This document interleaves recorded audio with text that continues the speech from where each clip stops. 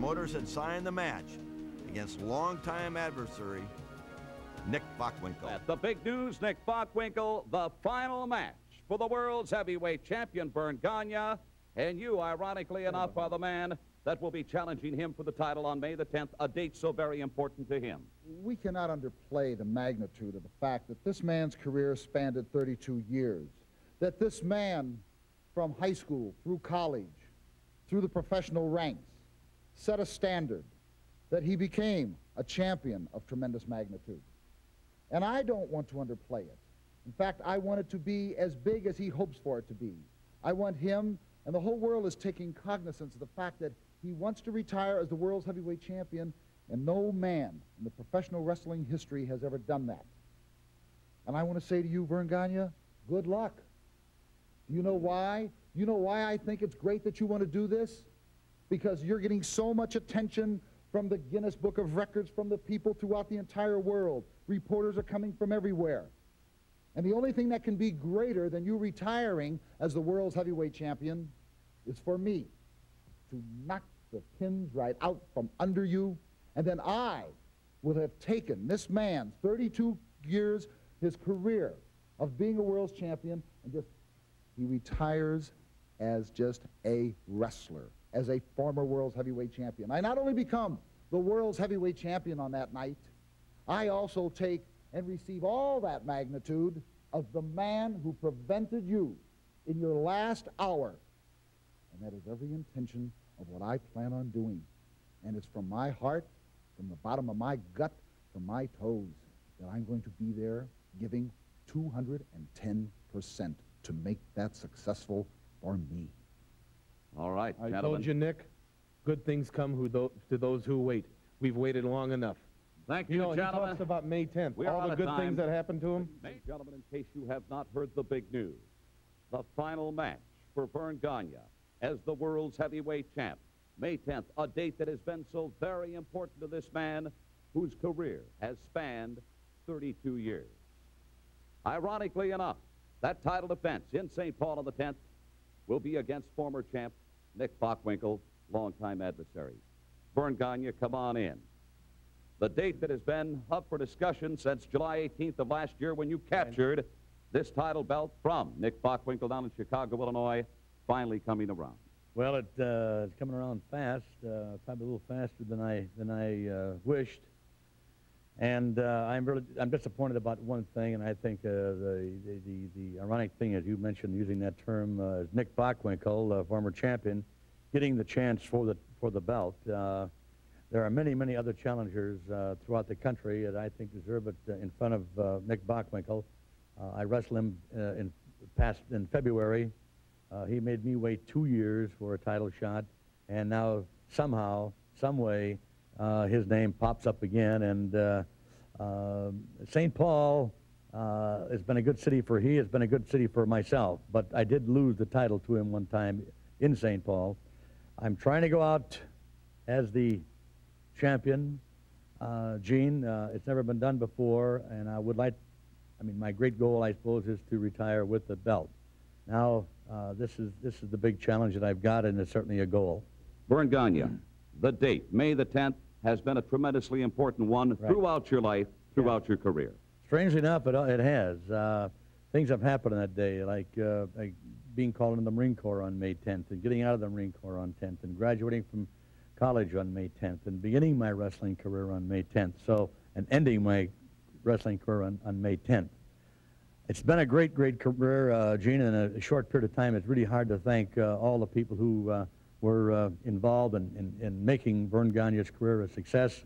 Uh, the media, especially, I got to uh, uh, say a quick thank you to the local media, uh, both television, radios, and newspaper people, but most of all, the wrestling fans in the state of Minnesota, because they've uh, supported my myself, my wrestling, and I do do really want to thank them, and I'm wrestling this match for them. Thank you. One thing, Verne, before you leave, I must say, the past 32 years been tremendously entertainment.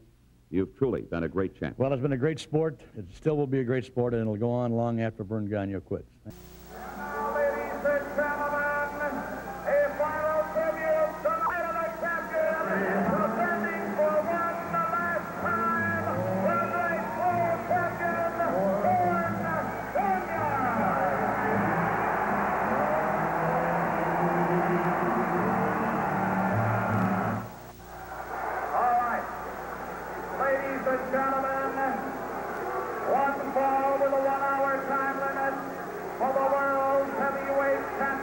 By the way, the disqualification clause has been thrown out for this particular championship bout. Again, repeating, from uh, Beverly Hills, California, he is the challenger and longtime adversary, a former world champion at 246 pounds, Philip Bockwinkel. Bockwinkel. His also from Beverly Hills, California, three-time manager of the year, the man who's through dealing with the championship committee this match together, Bobby Heenan. Heenan, the brain.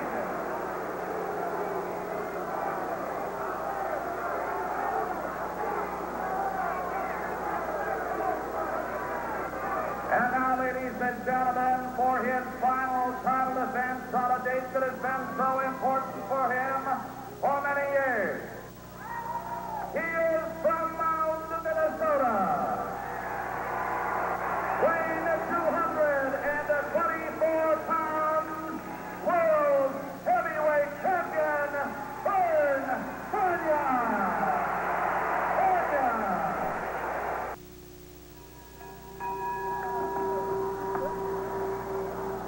Here we go, off and running. The final title defense for Verne Gagne as the world's heavyweight champion. Challenger, longtime adversary Nick Bockwinkel into a collar elbow hook up at a break.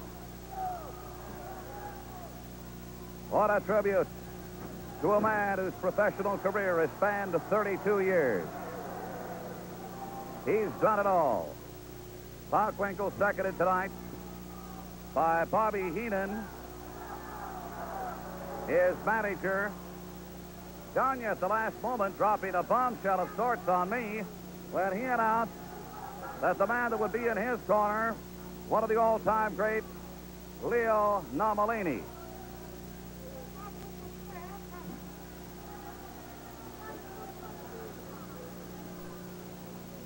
The night of a champion. The champion Referee Doug Gilbert.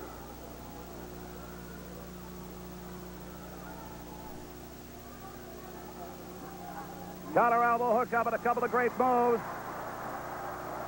by the man that has held the title longer than any other in the history of professional wrestling. He is vowed to go out of this great sport as a winner, as champion. I should point out the disqualification rule has been thrown out for this particular match.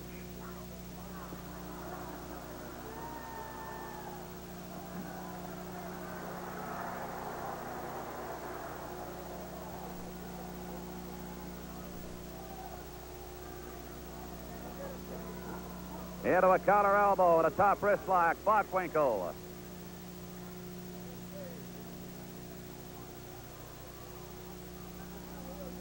To the world's heavyweight champ.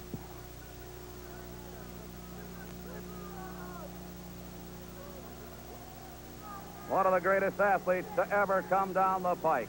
Believe you me.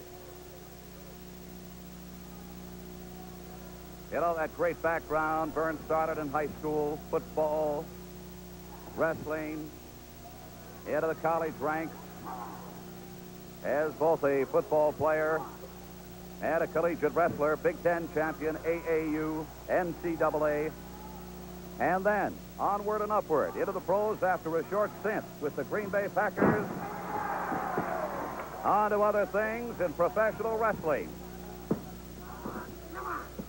And that goes back to 1949. The date of this taping, Sunday, May the 10th, 1981. A date certain to go down in history.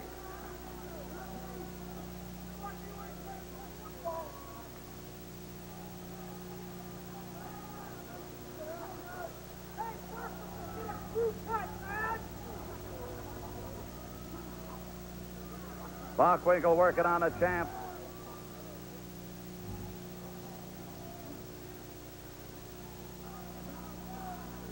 Periodically, Oh, beautiful arm drag, but Bockwinkel hangs on, the champ unable to shake loose of the challenger on this particular occasion.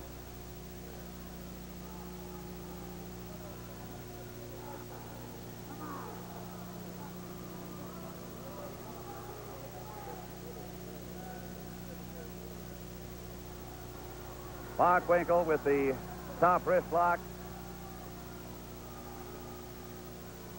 And a variation of a short arm scissors applying pressure to the champ.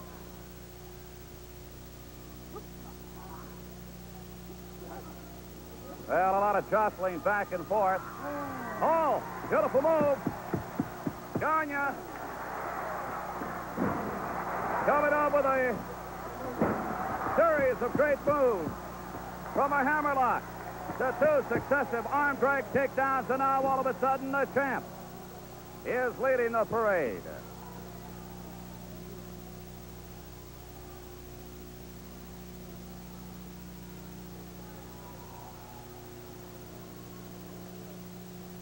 The opening moment of the final title defense for Gagne. As the world's heavyweight champ. He vowed, he made the announcement last July 18th at Comiskey Park in Chicago, Illinois. After he had defeated Bockwinkel for the title, he said, I will wrestle until either I am defeated or until I retire on May 10th of next year. Bockwinkel swinging Gagne into the ropes, comes off with a big solid hit. There's a shot to the midsection that doubles the champion over. Again, a whip into the ropes. Gagne very cagey. A couple of great moves there. First hip lock takedown, then another great arm drag takedown, and right back where he was less than 30 seconds ago. We're at 10 minutes, 10.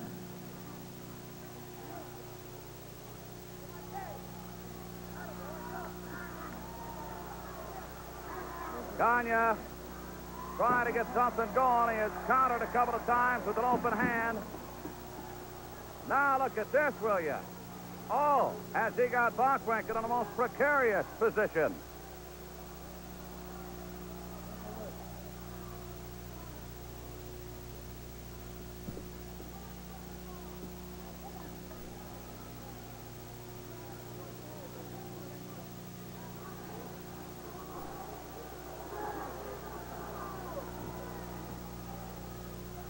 You fans know one fall, one hour. If Gagne should happen to lose this by being disqualified tonight, losing the match, that is, he will also lose the title. That announcement made just a couple of days ago by AWA President Stanley Blackburn. It was a shock to me, totally unprecedented for a world title defense.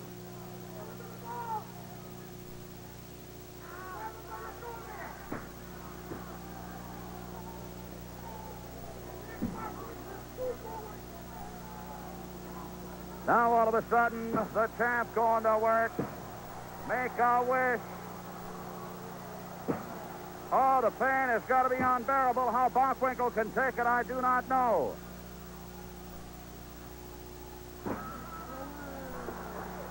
That has got to be painful. Oh!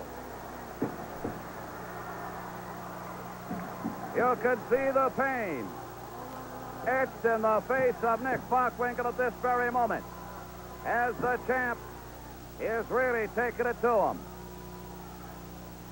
Heenan, Bockwinkel's manager, the far corner, virtually going out of his mind.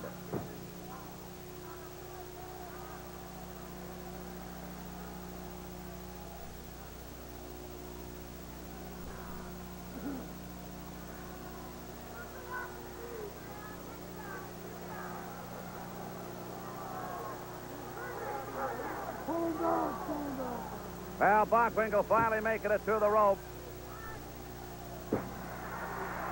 Just a moment.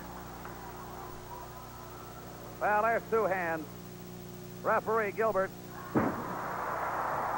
had checked Bockwinkel off the ropes a couple of times, spinning toe hold. Gagne right now talking to Bockwinkel.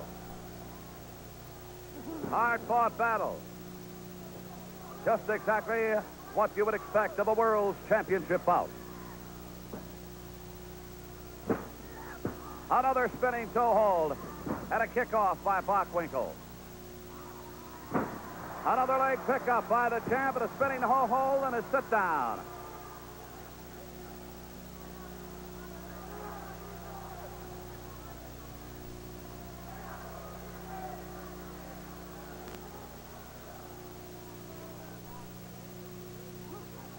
Something has got to give. Bockwinkel going for the face of Gagne. Now all of a sudden,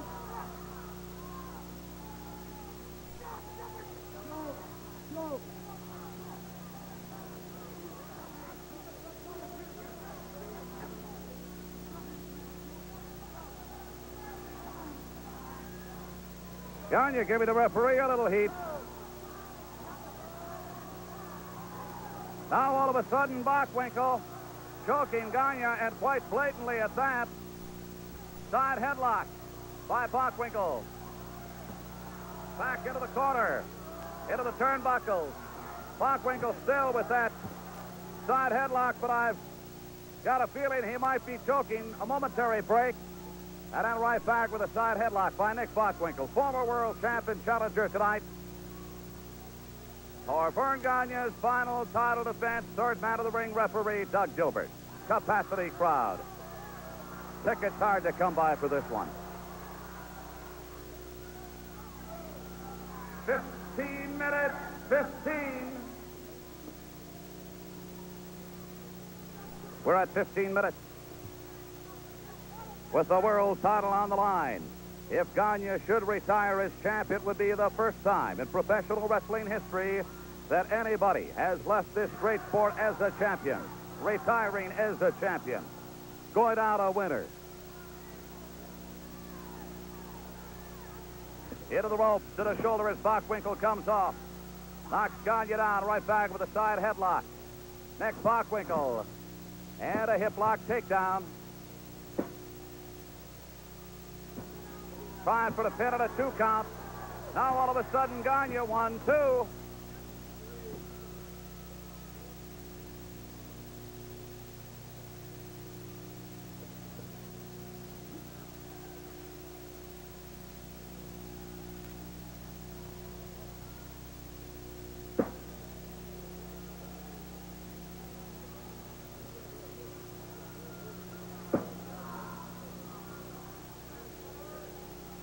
Bockwinkel maintaining a side headlock on the champ. Up on one knee, up on his feet, both men on their feet. Bockwinkel really shielding himself from the referee. Now all of a sudden the referee has been knocked down. A flying drop kick by the champion. And again, another big flying drop kick absolutely levels Bockwinkel. But the referee, ladies and gentlemen, apparently knocked out. Gagne has got Bockwinkel. Oh, there's a double sledge. Gagne was trying to go over the referee. Now all of a sudden, Bockwinkel one, two, and a kick out. A couple of fierce blows by Gagne, first to the midsection, then to the lower jaw. And again, Bockwinkel takes one to the jaw. The champ with a reverse knife edge across the upper chest. And again, Bockwinkel drapes over the top rope into the turnbuckles. A step over on an armbar. And an Irish whip up bent over. The Brazilian champion Never say die. And a victory roll. One, two. I can't believe it.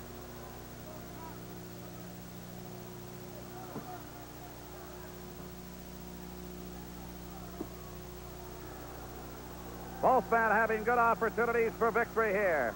A pickup. Body slam. To Nick Bockwinkel. He tries for the pin. One on the two count of kick out by Bockwinkel.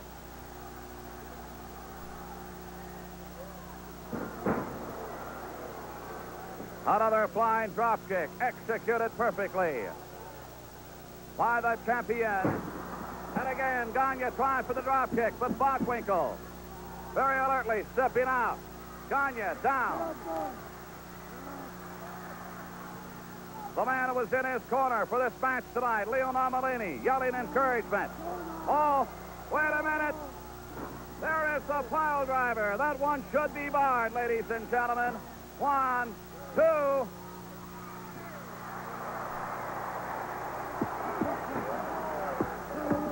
One. Bockwinkel cannot get the job done.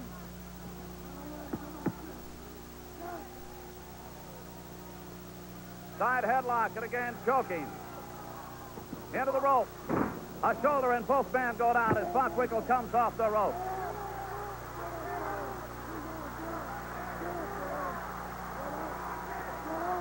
There is a count. Heenan, absolutely wild. One, two, and a kick out. One, two. Another two count by the referee, Doug Gilbert. Bockwinkel trying with all of his power, with all of his might. Now Gagne reverses it. One, two. What a seesaw battle this has been.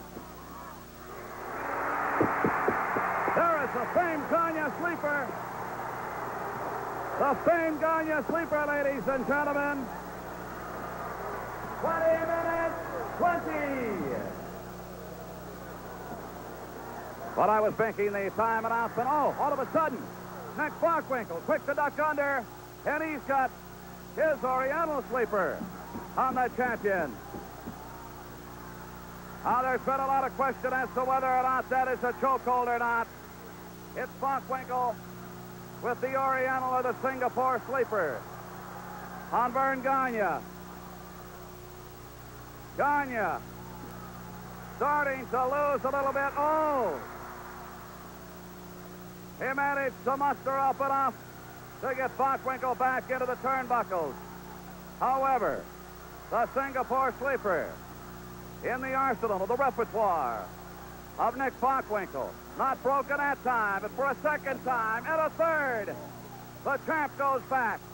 This crowd and mass hysteria prevailing here tonight.